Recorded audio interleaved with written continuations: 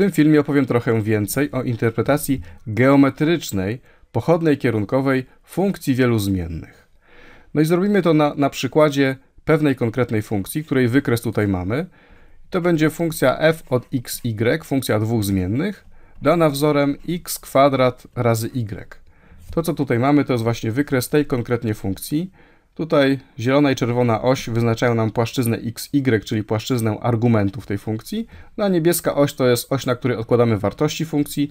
No i nad każdym punktem płaszczyzny mamy jakąś wartość funkcji. To nam tworzy taką, taką powierzchnię zanurzoną w przestrzeni trójwymiarowej. To jest wykres tej funkcji. No i teraz będziemy liczyć pochodną kierunkową tej funkcji w kierunku jakiegoś konkretnego wektora. To weźmy sobie na przykład wektor o współrzędnych 1, 1. Będziemy liczyć pochodną kierunkową w kierunku takiego wektora. Czyli pochodna kierunkowa funkcji f w kierunku wektora v w jakimś punkcie x, y.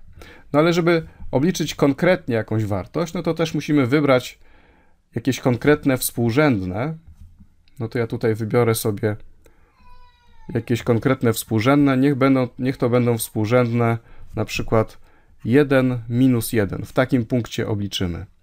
Czyli obliczamy wartość pochodnej kierunkowej w kierunku wektora v, który tutaj jest dany u góry, tej funkcji, w punkcie 1 minus 1. No i będziemy chcieli zinterpretować ten wynik jako nachylenie stycznej do pewnej krzywej.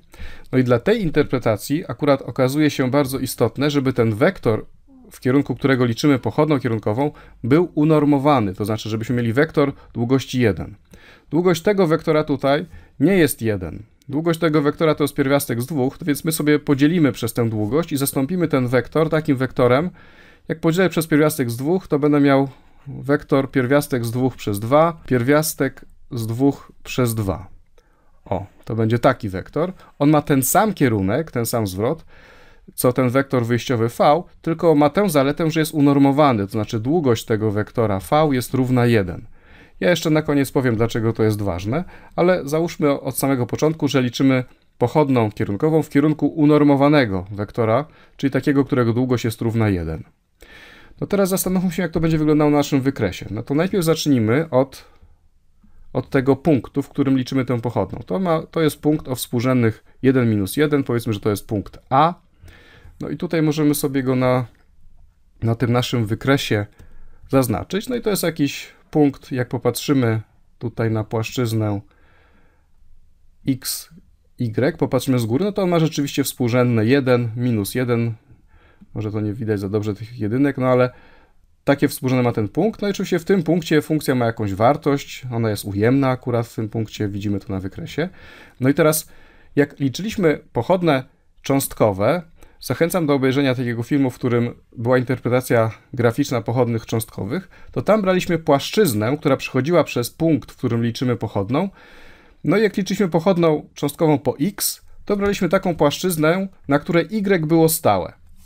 A jak liczyliśmy pochodną cząstkową po y, to braliśmy płaszczyznę, na której y jest stałe. No a tutaj bierzemy taką płaszczyznę, która jest wyznaczona przez kierunek tego wektora v. I popatrzymy teraz znowu z góry, no to możemy sobie tutaj spróbować narysować, jak to powinno wyglądać. Czyli tutaj mamy ten punkt A o współrzędnych minus 1, 1, to są współrzędne tego punktu. No a teraz kierunek tego wektora V, no to jest taki kierunek. On ma współrzędne pierwiastek z 2 przez 2, pierwiastek z 2 przez 2, on jest proporcjonalny do wektora współrzędnych 1, 1, czyli takiego, o, czyli ten wektor będzie jakoś tak wyglądał tutaj. To będzie jakiś taki wektor. I ten wektor nam wyznaczy płaszczyznę. No to ja tutaj sobie Wezmę tę płaszczyznę. Ona oczywiście musi być pionowa. O, i to będzie kierunek tej płaszczyzny. No i teraz jak zacznę tym ruszać, to tutaj mi się to zepsuje, więc trzeba wymazać te, te bazgroły. Ale widzimy właśnie, że ten wektor wyznacza nam płaszczyznę, która przechodzi przez ten punkt A. No i to jest płaszczyzna pionowa, zawierająca ten wektor właśnie. I teraz to, co będzie nas interesowało, to przecięcie tej płaszczyzny z wykresem naszej funkcji. No i tutaj pochodna kierunkowa w tym, w tym punkcie. Tutaj możemy sobie teraz y, jeszcze dla wygody, o, usunąć tę część, żeby to nam nie zasłaniało, czyli zostawimy tylko tę część z tyłu, no tutaj lepiej widać kształt tego przecięcia. No i teraz pochodna kierunkowa to będzie nachylenie stycznej do tej krzywej, która tutaj powstała jako przecięcie wykresu funkcji z tą płaszczyzną, nachylenie stycznej do tej krzywej w tym punkcie A. No i ta styczna wygląda tak, jej nachylenie tutaj możemy sobie, możemy sobie zobaczyć. No, no tutaj ma ujemne nachylenie i tak powinno nam wyjść z naszych rachunków. No to teraz może to obrócę trochę, żeby tutaj nam nie zasłaniało. Spróbujmy obliczyć, wykonać te rachunki, zobaczyć, co nam wyjdzie. No to liczymy. Potrzebujemy sobie przypomnieć, były filmy o tym, jaka jest formalna definicja pochodnej kierunkowej i jak się liczy pochodną kierunkową. No jak się liczy pochodną kierunkową, to, to pamiętamy, to jest coś takiego, że pochodna kierunkowa w kierunku wektora v funkcji f w jakimś punkcie no to tu w tym wypadku 1 minus 1, no to trzeba wziąć ten wektor v i jego iloczyn skalarny z gradientem, z gradientem funkcji f w tym punkcie. No to obliczmy sobie tutaj może na boku gradient tej, tej funkcji, czyli tutaj liczę gradient funkcji f w punkcie x, y. No to wiemy, że to jest taki wektor, którego składowe to jest pochodna cząstkowa po x i pochodna cząstkowa po y. Gdybyśmy mieli więcej zmiennych, no to mielibyśmy tyle tych składowych, ile jest tych zmiennych. No to liczymy pochodną cząstkową po x, no to traktujemy y jako stałą, czyli dostajemy tutaj po prostu 2x razy y. No i teraz liczymy pochodną po y, to teraz x jest stałe, pochodna po y to jest 1, czyli tu mamy x kwadrat, czyli to jest ta pochodna. No i teraz gradient tej funkcji f y, w punkcie 1 minus 1 możemy obliczyć. Trzeba tutaj wstawić jedynkę za x minus jedynkę za y, więc ten gradient w tym konkretnie punkcie to będzie minus 2 i tutaj 1 do kwadratu, czyli 1. Gradient jest równy tyle. No i teraz tutaj wystarczy to podstawić. Możemy tutaj kontynuować ten rachunek, czyli mamy wektor v, którego współrzędne to jest pierwiastek z 2 przez 2, pierwiastek z 2 przez 2. Iloczyn skalarny z tym gradientem, który tam jest obliczony, minus 2, 1. No i jak wykonamy to obliczenie, no to dostaniemy już liczbę, tak? No to mnożę minus 2 razy pierwiastek z 2 przez 2 to jest minus pierwiastek z 2. I teraz dodać pierwiastek z 2 przez 2 razy 1, czyli mamy coś takiego. I tutaj mogę minus pierwiastek z 2 przez 2 dodać pierwiastek z 2 przez 2, to będzie minus pierwiastek z 2 przez 2. No i to jest nachylenie tej, to jest nachylenie tej stycznej do wykresu.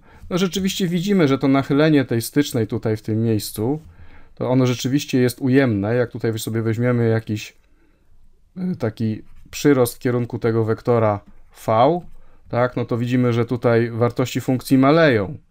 I jak weźmiemy iloraz tych, tych przyrostów, no to i zbiegniemy do zera y, z długością tych przyrostów, no to dostaniemy dokładnie taką liczbę, to będzie nachylenie tej stycznej. No i teraz na koniec obiecałem, że jeszcze powiem, dlaczego się upierałem, żeby ten, żeby ten wektor był tutaj unormowany. Otóż zauważmy, że ta pochodna kierunkowa zależy od długości tego wektora w taki sposób, że na przykład jeżeli ja pomnożę wektor v przez na przykład liczbę 2, przez 2, będę liczył pochodną kierunkową w naszej funkcji w kierunku 2 razy takiego wektora, no to to jest iloczyn skalarny tego wektora razy gradient tej funkcji. Więc widzimy, że tutaj ten, ten czynnik 2 nam się tutaj pojawia i on mnoży nam ten wynik. Czyli widzimy, że jeżeli pomnożymy wektor przez jakąś stałą, to wartość tej pochodnej kierunkowej się pomnoży przez tę samą stałą, czyli, czyli to, co tutaj dostajemy jako ostateczny wynik, w zasadzie moglibyśmy dostać dowolną liczbę, gdybyśmy do, wzięli wektor o jakiejś tam długości. No i właśnie po to, żeby się uniezależnić od długości tego wektora, to bierzemy wektor unormowany. Inaczej moglibyśmy ten sam cel osiągnąć w taki sposób, że moglibyśmy tutaj po prostu obliczyć coś takiego, że liczymy pochodną kierunkową w kierunku wektora v, tej funkcji f i żeby, żeby nam długość tego wektora to nie przeszkadzała, to możemy zawsze podzielić przez długość tego wektora v. Czyli mogliśmy tutaj na, na początku liczyć sobie w kierunku tego wektora współrzędnych 1, 1, ale na końcu powinniśmy podzielić przez jego długość i wyszłoby na to samo, byśmy dostali tutaj tę samą liczbę. Więc albo bierzemy wektor, który jest unormowany, albo pochodną kierunkową w kierunku danego wektora dzielimy jeszcze na końcu przez jego długość, po to, żeby ta liczba, którą w ten sposób otrzymamy, miała interpretację nachylenia stycznej do wykresu tej funkcji. No i czasami jest tak, że niektórzy dodają dzielenie przez długość tego wektora v do definicji pochodnej kierunkowej, ale to nam nie jest do niczego potrzebne. Pochodną kierunkową mamy zdefiniowaną tak, jak tutaj jest. Natomiast jeżeli chcemy zinterpretować, o tak jak tutaj mamy, natomiast jeżeli chcemy zinterpretować to jako nachylenie stycznej do pewnej krzywej, no to musimy pamiętać, że trzeba jeszcze podzielić przez długość tego wektora v albo brać wektor v unormowany.